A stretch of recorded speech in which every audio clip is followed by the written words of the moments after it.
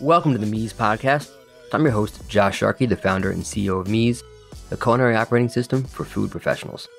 On the show, I'll be interviewing world class entrepreneurs in the food space that are shifting the paradigm of how we innovate and operate in our industry. Thanks for listening, and I hope you enjoy the show. Yo.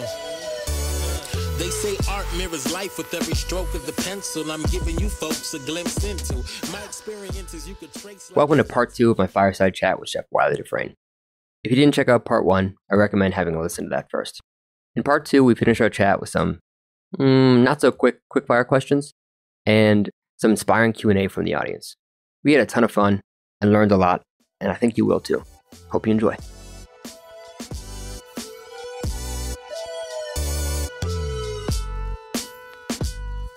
This podcast is brought to you by meez, the culinary operating system for food professionals. As a chef and restaurant owner for the past 20 years, I was frustrated that the only technology that we had in the kitchen was financial or inventory software. Those are important, but they don't address the actual process of cooking, training, collaboration, and consistent execution. So I decided if it didn't exist, I'd do my best to get it built. So the current and next generation of culinary pros have a digital tool dedicated to their craft. If you're a chef, mixologist, operator, or generally if you manage recipes intended for professional kitchens, meez is built just for you. Organize, share, prep, and scale your recipes like never before, and get laser accurate food cost and nutrition analysis faster than you could imagine. Learn more at www.getmeez.com.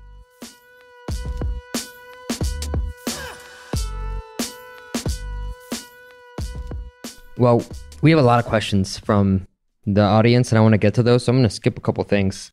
I'm going to jump to a little quick fire. Okay. And then after that, we're going to do a bunch of Q&A. I'll read some of your guys' questions and then also just I can pass the mic around for anybody that wants to to ask. And we might have Finn do another 20 30 push-ups as well. Just um a reminder Finn was late today guys and we we started late because of him. So, quick fire. We got one, two, three, four, seven questions here. We're in New York. Um so bagels, toasted or untoasted? Well, it depends on the time of day. Morning. You get your morning bagel. Toasted.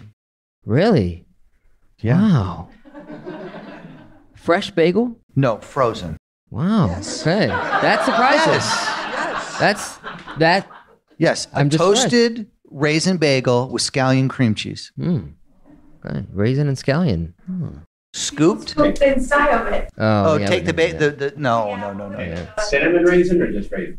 Raisin. Cinnamon raisin with scallion would have freaked me out. Okay, got it. Yeah. All right. Favorite tech gadget, whether in the kitchen or not.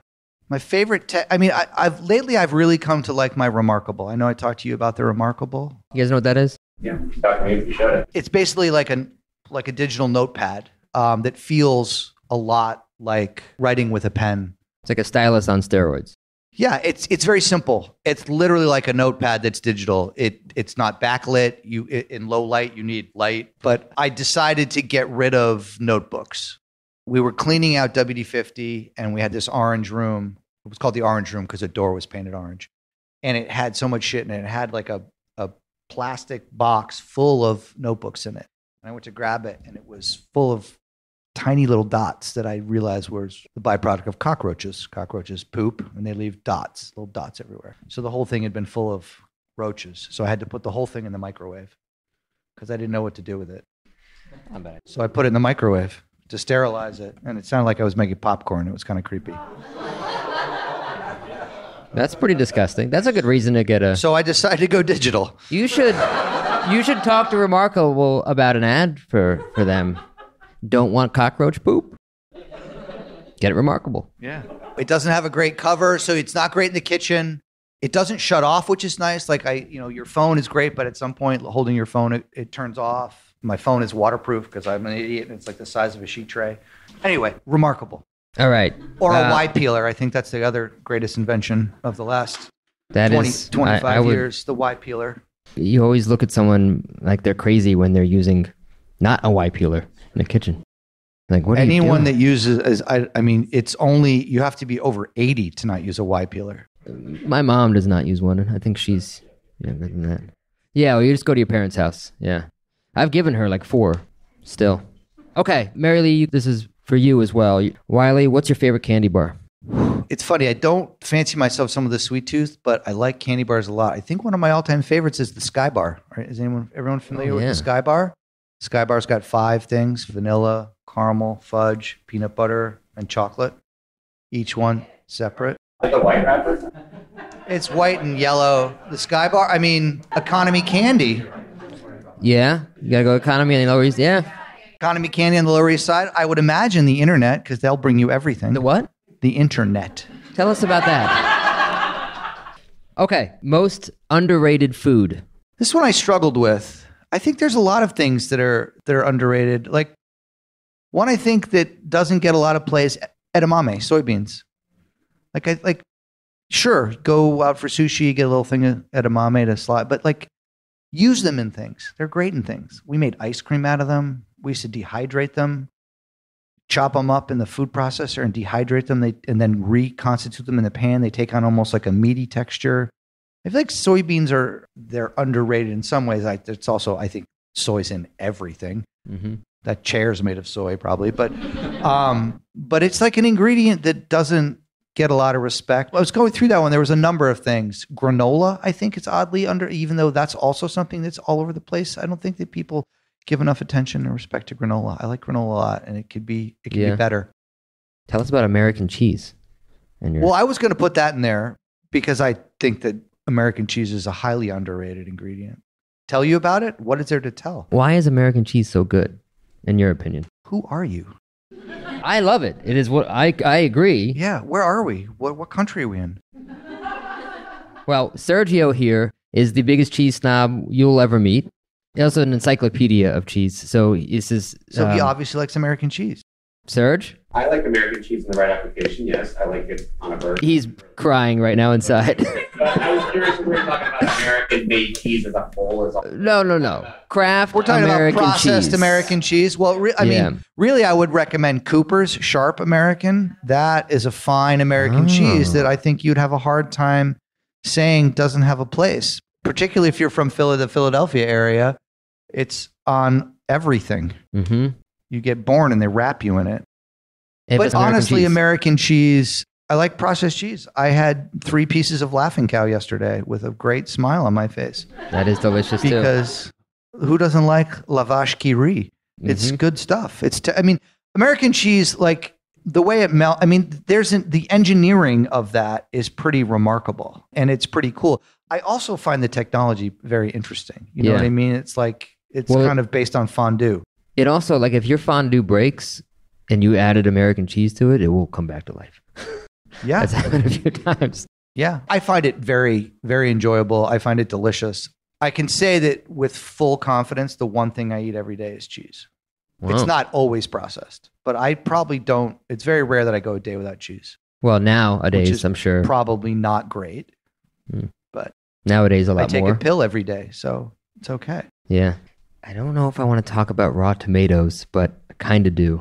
Okay. Uh, only because I still don't quite understand Why I don't like tomatoes? why you don't like raw. I think don't you like cooked tomatoes and just They're not raw? fine. They're okay. They're Why don't tol- you I like raw tolerate them. tomatoes? I generally try to stick to things that taste good.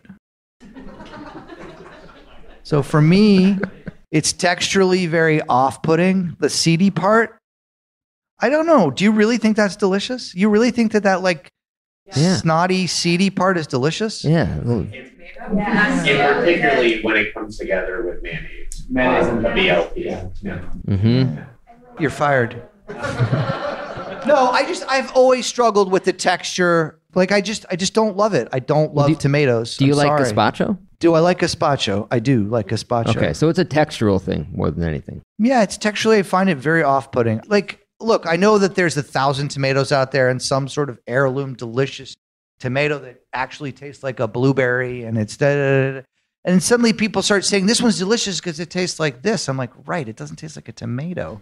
It tastes like something more delicious than a tomato. So now I see where you're going. Okay. We're going to agree to disagree on this one. That's fine. I'm okay with that. Um, all right, let's move on. Best meal ever. I don't want to say that's a silly question because I like you, but that's a that's like I can't put that down and say there was one meal that was Let's like see if we can having filter you know it down dining more. at El Bulli with my wife. That was a great experience. You know, I dined there four times, but the time I ate there with my wife was great. taking my dad to per se wearing shorts when you're not even supposed to do that. That was a lot of fun. You know, I enjoyed that. Okay, if you Um, could go back and have one meal again that you had today, oh, there's so many that I haven't had that I want to have. Okay, what's one of those? I wish I'd gone to Olivier Roellinger's restaurant before it closed. I wish I could have had Girardet's food before he passed away. You know, I wish I, I was this close to going to Manresa. Never been to Manresa in my life. Oof. That's a major regret. That's a huge gap. Yeah. David is a lovely person, a iconic, legendary chef. I'm gonna make it to Noma. I've made that promise to myself before it closes. It's going to come back in Japan, right? Isn't that Well, but I'm gonna make it to Copenhagen. Like that's Gotcha. that's my goal. okay? I am so upset. I, I had a ticket to the Mexico event and I couldn't go because of my kid, which was a good reason. So I've never been to Noma either. Um, okay, moving on from that. Um, I love you, Stone. Funniest or dumbest thing you've ever seen in the kitchen? I mean, that one's. I mean, dumbest is like. I feel like it's tough to answer that without being a little bit cruel and making somebody feel bad. Like As long as it's not about Kurt, we're, fine. you know, like this is about to leave the kitchen. Chef comes over, grabs it. Chef, you can't send that to them. They have a nut allergy. It's a coconut. now that that's cruel. I think there's more like general funny moments. Like I think of our push-up rule, our blue tape. You guys know the blue tape. You guys incorporate that. Tape, there's painter's tape. I think there's a little bit of folklore around the tape was who started the tape, right? I don't think we know exactly who started the tape, but the idea that, you know, we use quart containers in kitchens, it's sort of the universal vessel in many ways. We get tired of them going through the dishwasher with masking tape used to be the tape of choice for restaurants the world over. Masking tape goes through the dishwasher. The heat causes the glue to basically sort of fuse to the plastic in a way that you can never fully peel it off and it's it peels off, but then the glue is behind and it's sticky and it's gross and it's annoying. And somewhere along the way, somebody figured out that painter's tape, worst case scenario, it just comes off in the wash, right? It, or if it goes through the wash, you can just peel it off. But the tape, in and of itself, going in quart containers are then stacked upside down, put in the corner to drain, and in a place where all the cooks can access them for whatever they need. It started to drive me nuts that you would go over there and there'd be tape all over the quart containers, even though they peel right off. Why fucking tape on them? Why can't you remember to take the tape off before you put it in the dish pit? You have to walk from here to the dishwasher. While you're walking, pull the tape off. No, okay. If you leave the tape on, you owe me 10 push ups. The tape disappeared so fast. but there was a lot of humor around it too. And it was a great egalitarian moment because everybody left the tape on, everybody forgot in one way, shape, or form. And it was everybody loved seeing the chef do push ups. Everybody loved seeing everybody do push ups because it was, again, it was not meant to insult you. Nobody, you know, oh, I can't do push ups. Can I do them on my knees? Sure. I can't do push ups. Can I do jumping jacks? Sure. Just, you know, it, there was no moment where you were meant to be made fun of right? Because because it wasn't about that. And and again, I think of those. There's so many funny moments. We had one guy who was training for an arm wrestling competition. So he took like 15 quart containers and just threw them at the dishwasher, all with the tape on them. and that, you know, and so then he's doing 150 push-ups and turning red, and he's all fired up. And then the dishwashers would save them. They would save the tape, and they would wait till strategic moments and they would, you know, they'd come up at like, you know, it's twelve thirty. We're all done, ready to go home. Hey, chef, chef, Mary, Mary owes you ten push-ups. You know, your, your technique, I'm gonna use that. You know, They, yeah, making people do stuff when they don't update their Asana board. there, there you go. Maria also upholds our HR, so as long as you're doing that, I think we're good. I know each other, and I'm like, I'm a liability. So, Uh, well, as you can see, I clearly am as well. yes. But you know, these are generic moments that I think again are part of team building, but there's a lot of humor associated around them. And I think that those are those are valuable moments. Like I don't there's a lot of funny things, a lot of goofy things. Like I started thinking like I don't want to make fun of that person for in the heat of the moment thinking a coconut is a nut because that's mean. And it, yes, did we all have a chuckle at the time? Yes, but you know, Did you have the same rule if they didn't cut the tape and they ripped it? I was not into the the cutting of the tape. Now I know that the spirit again that also is sort of that's born out of Thomas Keller, right? The idea that instead of just tearing the tape, that you would then take a pair of scissors and cut the tape so that the it was just so, and, and it was kind of silly that it became this whole thing about cutting the tape because it was as if, oh, no one knows that there are tape dispensers where you just tear the tape and square. Became this whole thing about I cut the tape, and it's as I cut the tape, I'm focusing my energy and I'm becoming more serious about what I do, and I'm focused. I take my job. They make fucking tape dispensers. You don't have to be so serious, you know. So no, I wasn't. That wasn't Yeah. you know an important thing. I would rather that you put the tape on there and label it, and and then you know put Yeah. hospital corners on the bed as long as you make it. You know that's that's not that's not so important to me. All right, one more dumb quick fire question Okay. for you that you probably I haven't answered any of them quickly, as you can No. see. I'm a dis- complete this is- disaster. This is it's like a quick fire story. Sorry. Uh, this probably is a dumb question, and I don't know why I thought of it, but hypothetically, if you only had one fat to cook with for the rest of your career, duck fat, canola oil, grapeseed oil, you know, any fat, and you could only use one fat to cook with, what would you use? Hair gel. No butter. Without question, butter. Oh yeah, because you can clarify. Butter. That's a good one. All right. That's real good. Sorry, I didn't mean to go out on a limb. Chef. That was good. This was amazing, Chef. Thank you so much. No, please. Um, I'd like let's let's let's have some questions. Well, we from- have yeah, we have a bunch of Okay. Q and A, and I'm going to start it off from the audience. Why didn't you hire Gabe in 2004 when he applied for a job? Gabe, you you can add context if you'd like. Well, let me just put it this way. You weren't the only one. Did I dodge a bullet? I mean, I, I can't possibly remember that. I'm sorry. I am sorry. We're hiring now. I don't recall, Gabe. I, I do I do apologize. There were a lot of people involved. All right, that was more of a softball, but um, you had Du's Donuts, uh, which were some of the best donuts I've ever had. Mostly cake donuts, then you started doing yeast donuts at the end. Lots of different flavors in Williamsburg. Was there ever a donut flavor that you thought was going to be a smashing hit, and it turns out it wasn't, and why? Oh yeah. oh yeah. No, there were lots. I mean, honey fennel was a flavor that I thought would be I like that delicious. That was one of my favorite ones. Okay. You didn't buy I 200 wasn't a the- day, I wasn't the- so I you wasn't didn't, the you didn't audience, ask me if apparently. it was good or not. You asked me if it was like honey fennel was one that didn't work out. Eggnog, I thought was going to be a flavor that would be good. That kind of landed with a thud. We did a one that was a riff on a Manhattan. We did like a whiskey glaze with uh, cherry. We would often put two glazes on a donut, so we did whiskey and, and cherry. That one didn't really resonate. Yeah, no, I mean I could go on. Okay, People are boring. that's They true. want, Most- you know. I mean, I say that obviously jokingly. I don't mean it that way. Vanilla is also my You're all favorite. boring. No, I mean vanilla is my favorite ice cream. So there you go. It's also everyone's favorite donut. You know, people like pepperoni on a pizza. It's it's okay. It's okay. Classics should be. I like the fact that there are classics, but you know, again, I think it goes back to my sort of stubbornness about well, I'm going to show people that donuts can be. You know, I was trying to solve a problem that didn't exist at times, and that was my problem. Uh. Well, I'm going to do an audible here just because we're talking about that. Um, you're opening a pizza restaurant, and you've been, for the last, I don't know how, how long, have been maniacally digging into every little detail about pizza. And why are you opening a pizza restaurant? What is it about pizza that fascinates you? And what are you trying to solve there?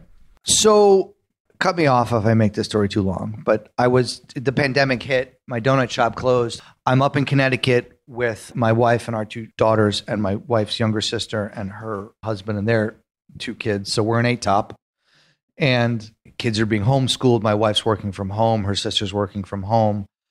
The other husband is sort of helping homeschool his kids. I'm not doing a lot because the donut shop's closed. Seems like if someone has to feed the eight top, I'm the probably the best choice of those eight, all with all due respect, they all have they're excellent at their respective careers. I'm down in the basement sometime in April of that year, looking around, and I I, I come across there's a pizza, the Breville Pizzaiolo oven, sitting in a box. I had done some work for Star Chefs six months earlier, and in lieu of cash, I took some gear. One of which was an espresso machine, which we're using every day. The other was the pizza oven. I said, well. That seems like a good way to feed eight people. Pizza's pretty popular universally. we're feeding like four year olds and 50 year olds. So, boom, pizza's one person's a vegetarian, two people are kind of picky. This pizza's perfect. Major caveat I don't know how to make pizza. Now, you know, I'd never really made it before. Sure, I'd done it for staff meal. I know how to make tomato sauce, this, that, the other thing. But I didn't really know how to make pizza, you know, ground up. So I did what anybody did. I Googled pizza dough. And, you know, that night I made pizza dough with the King Arthur recipe. And I was like, this is fine, but we can do better than that. And so I just, like, it, it I was like, I need something to think about. I need something. So, like, there are a lot of awful stories about the pandemic, but I can say for me, I feel very lucky. Like, pizza saved me. Pizza saved me during the pandemic. It gave me something to do, it gave me something to think about. Like, I was helping my family, obviously carrying my weight as a, as a member of my family, which is the most important thing I could do. But I wasn't doing anything to stimulate my brain. And now suddenly I was. And as someone who wanted to understand the levers and what they are and how to work them, I didn't really have any problems with what to put on top of a pizza. That's where 28 years of being a cook comes in handy. But I didn't know how to make pizza dough well. I didn't understand the variables of pizza dough. So I bought, you know, 15 books, all the books that you would think, and got on all the different forums and started reading and blah, blah, blah. So, like, learning how to make pizza became a little bit of an obsession. It's more like I fall down a rabbit hole happily. I'm happiest when I'm trying to figure that kind of stuff out. Like probably if I could get General Mills to pay me a lot of money to just be in a corner and figure out shit, that's really what I should have done. You know, I mean, I love restaurants and I would miss that part of it, but I love just figuring stuff out. I love understanding it and try to figure it out and tweak it and make it better. And so that's what I did. And I got to the point where the pandemic was ending. The donut shop wasn't going to come back. So I needed a job. I needed something to do. And I had been working with Breads, the owner of Breads Bakery, which is in Union Square. Uh, he had said to me, like, we'd love for you to do some sort of pop up here. Like, we'd been trying pre pandemic. We're going to do something with eggs. Then we're going to do something with donuts, and nothing stuck. So one day I said, How about pizza? And he said, You don't know how to make pizza. I said, Wait a minute. And I live right around the corner from Bread. So I went home and I made him a pizza and I brought it back and it was an everything bagel pizza. So it was a white pie with everything bagel spices sprinkled on it. I gave it to him. He's like, "That's not bad." I waited like two days and brought him another pizza. I was like, "What do you? Here's another pizza." He said, "Okay." And so we did like a six month pop up of Stretch making pizzas at Breads, and uh, you know, I said to him, I said, I would like to continue. I'm going to now, I, I, think what I would like to do is I would like to figure out a way to open a pizzeria because I need, I need to know what's next for me. I don't have a what's next for me. And he said, Well, I'd like to do it with you. So pizza was born. And so we've now, there's a group of us and we've got a space and it's under construction and there'll be a stretch pizza in March. That's awesome. And we have uh, an office like two blocks away from there that we can visit on Park Avenue. Yeah. New Haven Pizza, Sally's or Pepe's. Zuppardi's. I like Zuppardi's. I think Zuppardi's is my favorite. Yeah, I think their their pizza's good. They're nice people. They're all nice people. I like I like New Haven Pizza a lot. A lot of what I like about New Haven Pizza is the families, the communities. Like they're a nice. They're they're just really good people. Like sometimes they can be a little gruff, and some because they're dealing with high volume and all that. But like I don't know, New Haven Pizza is a it's always a pleasure to participate in because the people are always really friendly. I've got to a point in my life where I only want to buy things from nice people. I can buy olive oil from anyone. I can buy a carrot from anyone. I just want to buy things from people that are nice. I want to try to be nice and buy things from people that are nice. That's that's what I decided. New Haven pizza is always nice. It's a, I like New Haven pizza. If you want to be treated poorly, go have Manhattan pizza. You know, that's different. As a time check, guys, we have about 20 minutes left. So I have questions from you, but if anybody wants to ask a question, just be proactive. So, Yes. Vlad, How do you identify talent when you're looking at you're meeting someone for the first time? What makes you fires a? You're like, I suspect there's greatness standing in front of me. I carry a picture of Kurt in my wallet. you know, I, I don't think I'm able to see that far down the road to say I see greatness. You know what I mean? I think that it's an old. Oh, you hear people say it. I just want someone with a good attitude. You know, I just want someone with a, with the right attitude. I'd rather have somebody with the right attitude versus some you know old dog that doesn't want to learn new tricks. That's true. Although sometimes it's fun to get the old dog and help them see things and look through things in, in a new way. Like I, there's a lot of satisfaction out of taking someone who's stuck in their ways and have them realize that there might be a different way to do it. And I think that if you can explain that to people, I'm getting off track. It's it, I don't I don't have the answer to that. I don't know that you can see greatness, but you can certainly see potential. You know, and there have been people that I have bet heavily on and been wrong, and there are other people that I have completely underestimated and have beat me in a foot race. you know, I think you try. The more you do it, the more you, uh, you you you probably get a little bit better at recognizing who's got the right mindset.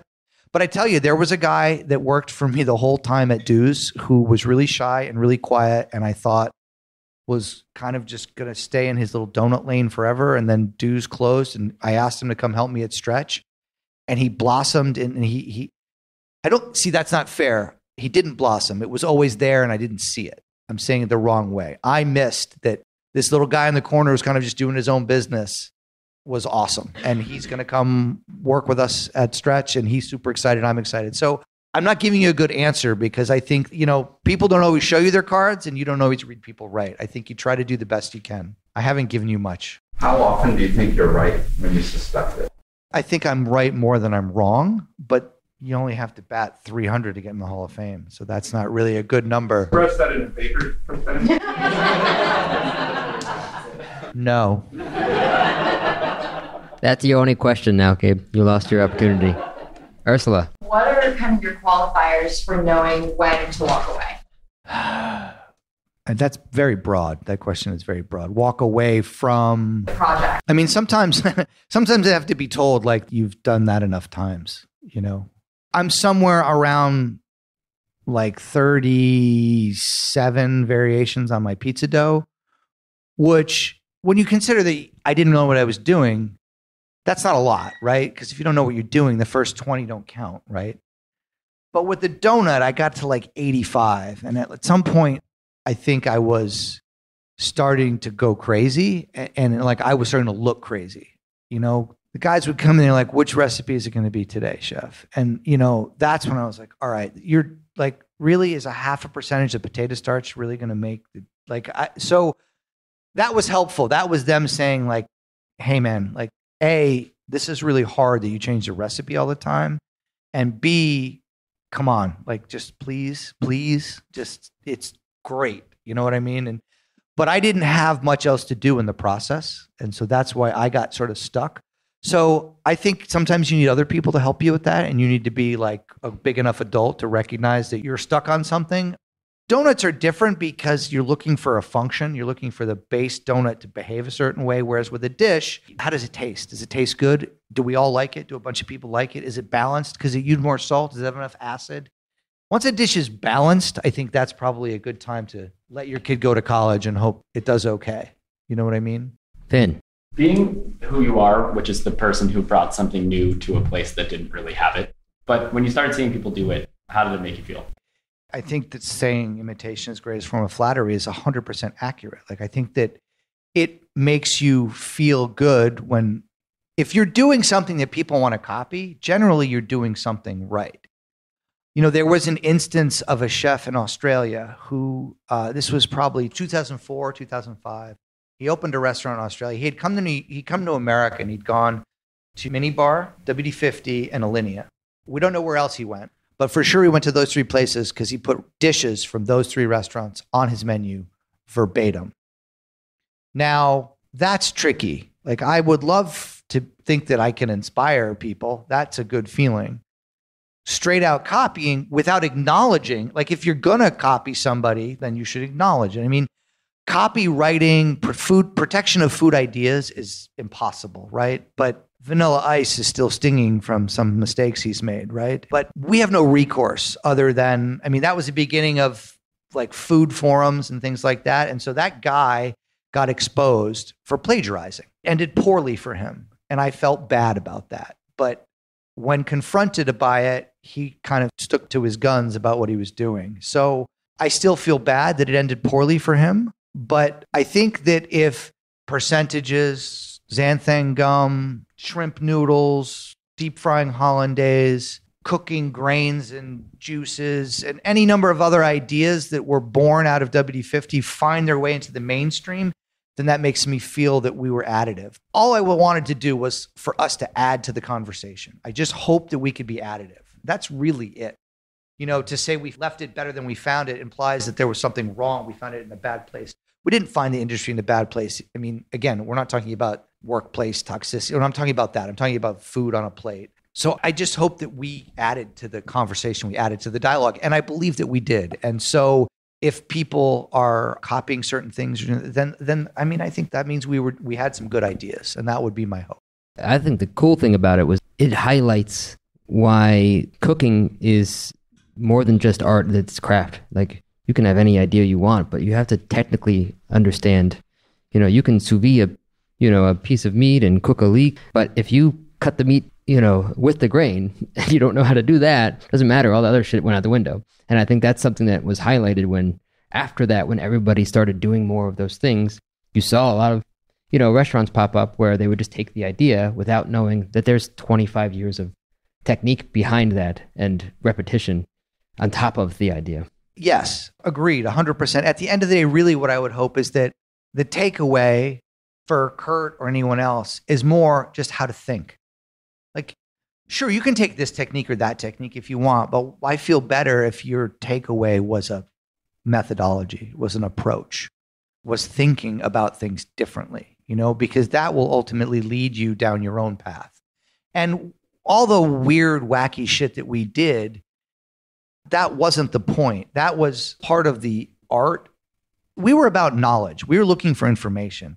What you do with that information is the next page in the book, but really we were looking for the information. We were looking to understand what was going on to food as we were cooking it. And that information is as equally valuable for the bistro chef on the corner who wants creamy mashed potatoes and bright green beans and a béarnaise sauce that won't break and crispy moist chicken, right? You don't have to make foams and this and that and do all this wacky stuff to get at the core of what WD50 was about. That was a subtext to the concept. We were looking for answers to information. We're looking to understand what was happening to our food as we prepared it so we could prepare it in a more informed way. There's no right or wrong way to cook. There's a more or less informed way to cook. And we were looking to be more informed about what we were doing. And that's the real takeaway for anybody. You come to WD50, I don't care if you never make another whatever in your life, but you think about food in a more holistic way and you understand it a little bit better because what you do with it is totally up to you. But you have to understand what's happening to a piece of fish when it's in a pan or a chicken when it's in the oven or any number of other things in order to make them better. You can then decide you want to go off in this weird fantasy or you can decide I just want to make food that's not dry or food that's not bitter, you know. Can you talk about a time that you experienced burnout and what you did? Not of a dish necessarily, but you.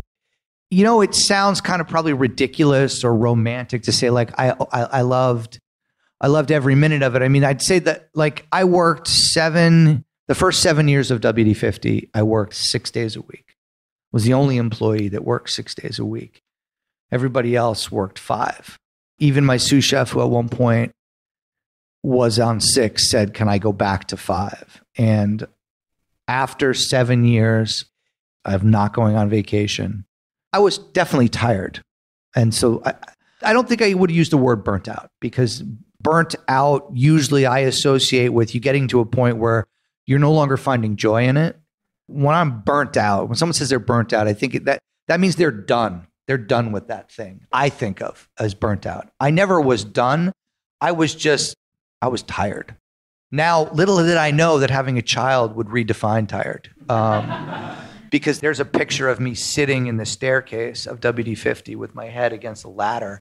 And that's 100% because I hadn't been asleep for like a day and a half because of my child. And that's, that was that was exhaustion at a i mean children will teach you exhaustion in a way like you never thought of so like that's where I was. I, I took a, I took a vacation. I took my first vacation in six, seven, six years and seven years, something like that. So that that's where I was. I was tired, but not not not in a negative way. Just like I need I need a minute to like. I think I mean more in terms of like ideation. Like you're pumping ideas constantly. Is there ever a moment where you're like, I need to take a pause and just do for a minute so that I can refuel and more ideas?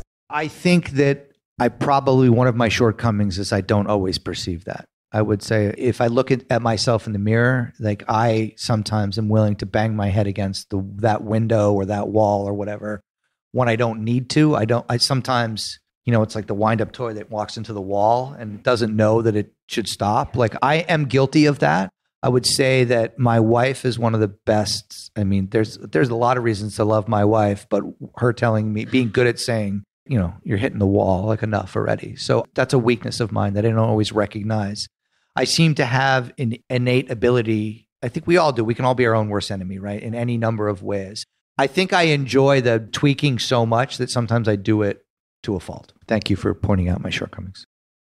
I got a question for. Heard all about innovating on, on the food and the recipes. I was curious to what extent you ever innovated on the equipment. Some of your stories bordered on that, either to build or hack something that was in the kitchen, or buying something for not its intended use, but getting a, a novel use out of it. I'm a big fan of using things not for their intended use or using things like, again, we've talked a lot about percentages. And this is not an equipment, but this I think fits your example. Like xanthan gum is an ingredient. I don't know if you're all familiar with it. If you're not, it's a it's basically it's a thickener that doesn't need to be cooked. Flour is a is a starch that needs to be cooked to thicken.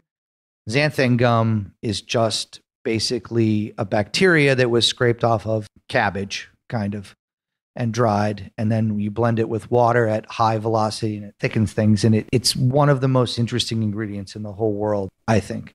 Why math is important is you use it at like total weight of a sauce, you use it at 0.1, 0.2, 0.3%. Beyond that, it starts to look like egg whites and get really ropey and snotty. So we put like 2% in coconut milk once because you're not supposed to do that. So that's all it takes for me to do it. So If someone says you should not do that, I'm game. I'm totally game. So we did it, put it in the blender, and because there's so much fat in coconut, no, if you did that with water, you'd probably fry the equipment because at some point it gets so thick that it you're asking too much of the machine. But there's so much fat in coconut milk, it made this wonderfully weird textured thing and we served it with crab meat. We put it in a pastry bag, we piped it across a bowl, and then we built all this crab on one side and we poured a soup on the other. And it was this weird white tube of coconut and a texture that coconut never lived in before. So it was this idea of like, okay, we're not supposed to do this, but let's try it. No one's going to get hurt. We have like seven blenders. So back then, Vitamix was giving them to us for free, and it was fine. But there were also times when we made some equipment that didn't exist. We had somebody make equipment for us. Dave Arnold, I know you know who Dave Arnold is. I don't know if, if you know, too many of you know Dave Arnold is one of the great mixologists, bar people of the world. He's also my brother-in-law, and he happens to be an amazing builder, tinkerer of things. And uh, there's alginate. You mentioned alginate earlier. You know the idea of Ferran Adria made the idea. He took a high school science experiment, which was alginate is also another gum that you can use to set liquids. And he famously took a high school experiment of blending alginate with something and dropping it into a bath of calcium chloride, and alginate reacts with the calcium. And then, let's say, if you dropped mango out of a dropper into a, a bath of water and calcium, because the calcium reacts with the alginate, you'd get these little. He, famously, he made caviar of a thousand different things. But we wanted to get something inside of something. And so we needed to drop one flavor and another flavor at exactly the same time into a bath. And so Dave built a piece of machinery for us that would literally dose one at a time. And we dropped milk and coffee at the same way. And so we got a sphere of milk and coffee together. So we had coffee in a bite and we rolled it in cocoa and coffee grounds and stuff. So you had this little tiny thing that was a bite, and it was this crazy Rube Goldberg machine that had all these things and blah, blah, blah, and it never went on the menu. You know what a peristaltic pump is? It's a pump that will just push liquid through it in a timed. Was this might have been at the restaurant when you were there? It's just a pump that's used in hospitals a lot to pump liquid. It's a tube and you can dial it. It just basically pushes liquid through at a very systematic amount. So we uh, we also took coffee and we had it with pectin in it, and we were dropping coffee with pectin into a bath with calcium at a very dosed amount, and it, we had to figure out the distance, and we got it to hit the water and pancake on the surface. So after a while, you had this giant container. It would take hours. You just put it in the corner. You put one hose in a bucket of coffee, and the other hose was clamped above a bath at a certain height so that each one would pancake and then fall. When you harvest it out, it looked like a bowl of lentils, but it was coffee flavored lentils. And we served that with a piece of foie gras. It was coffee, it was foie gras and lentils. Delicious. So that's not at all what a peristaltic pump is used for, but that kind of thing of like taking equipment and seeing what it does and then seeing what can we do with it. And then there's other ideas of like seeing things and just completely doing them incorrectly, like using an ingredient at a completely unthought of concentration level just to see what would happen. Awesome. Well, we are right on time here. And um, Chef, just thank you again. I think uh, I, I don't know about you guys. I'm super inspired, and uh, hopefully everybody learned a little bit about how we can be more creative and curious and think outside the lines. And the big takeaway is be nice and buy things from nice people. Well, I, I, I want to thank you. You know, like I said, we've been friends a long time. I want to thank you guys for having me. I enjoy these kinds of conversations. I think it's fun to talk about what we did, what we still do. I mean, you know, I don't want to be 80 sitting around here talking about glory days with like Bruce Springsteen playing in the background. There's a little of that, but I do I do appreciate the opportunity to talk to you guys. I am a fan. I love what you guys are doing. I think it's super useful. We're we're going to go deep with it at, at Stretch. We're excited to dive in. We're grateful for that. So, thank you all for having me. And when Stretch opens, we'll all be there. Maybe that's where our, our next uh, team summit will be. Yeah, I mean, we look forward to having you guys again. It's good to see some old friends and meet some new folks. Awesome. Thank you, Chef. I hope it works out for you. Thanks, Chef. Thanks, guys. Appreciate Thank it. you very much.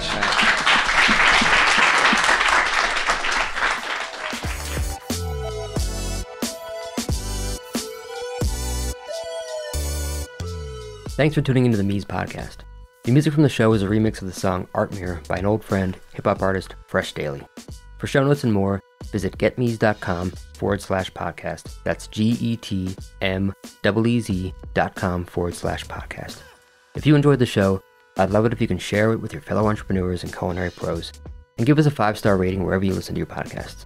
Keep innovating, don't settle, make today a little better than yesterday, and remember, it's impossible for us to learn what we think we already know. See you next time.